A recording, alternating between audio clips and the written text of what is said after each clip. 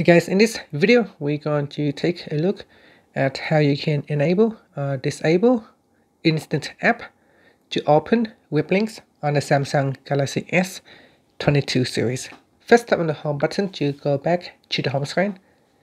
And from the home screen, swipe down at the top and tap on the settings icon. In settings, go down and tap on apps. Next, we go down and tap on choose default apps. In here, swipe up to go down to the bottom and tap on opening links. Next, tap on instant apps. In here, tap on upgrade web links. So tap on the toggle button to turn on. As the web links may open in instant apps instead of in a browser when available. And if you want to turn off instant app, you just tap on that. And then in here, tap on the turn off button to turn off instant apps. And that's it. Finally, you can tap on the home button to go back to the home screen. Thank you for watching this video. Please subscribe to my channel for more videos.